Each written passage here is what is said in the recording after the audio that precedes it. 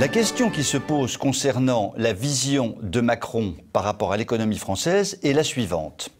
Lorsqu'il a été élu, il était dit partout, notamment dans les grands médias, qu'il était un très bon économiste et que grâce à lui, la France allait se relever très rapidement. Au bout de presque deux ans de prise de pouvoir, qu'en est-il réellement sur le plan économique?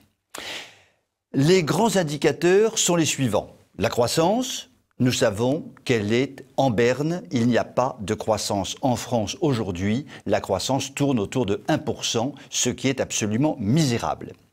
Les déficits publics, ils sont toujours aussi élevés et le déficit budgétaire est absolument catastrophique, de l'ordre de 80 milliards d'euros probablement en 2018.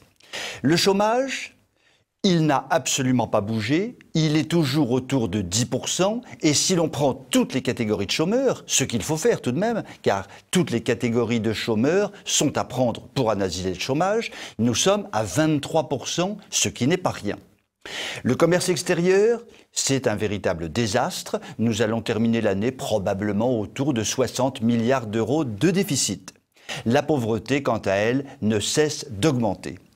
Nous le voyons, le bilan économique de Macron est une chronique d'un désastre annoncé. Cela va de mal en pis et cela ne peut s'améliorer. En réalité, s'il y a un miracle Macron sur le plan économique, car quand il a été élu, nous parlions d'un miracle économique qui attendait la France, si miracle économique il y a, c'est que le système actuel, sur le plan économique, n'est pas purement et simplement explosé, car réellement, la situation économique de la France est aujourd'hui désastreuse. Voilà, chers amis, c'était la question du jour. Je vous souhaite tout de même une bonne soirée et je vous dis à très bientôt.